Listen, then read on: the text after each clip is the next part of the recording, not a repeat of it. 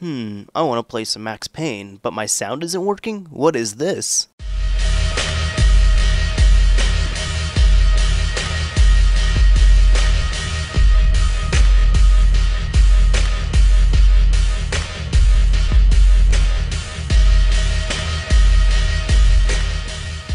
Alright, so to fix this problem, it's actually going to be pretty easy. You're going to need a copy of Max Payne. I got one gifted to me through Steam, thankfully, so I didn't have to pay anything for it.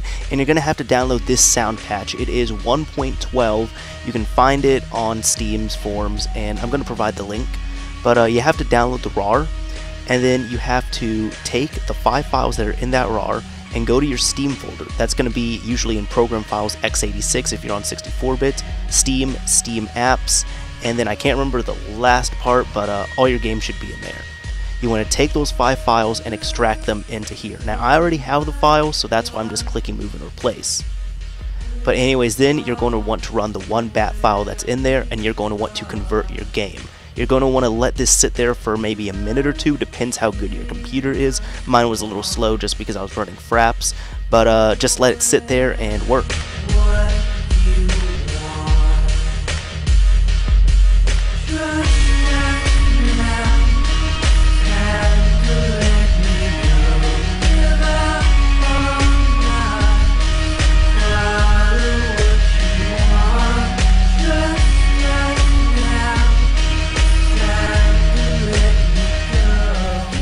Alright, so you're going to know when this is done because it's going to say in big letters finished right there.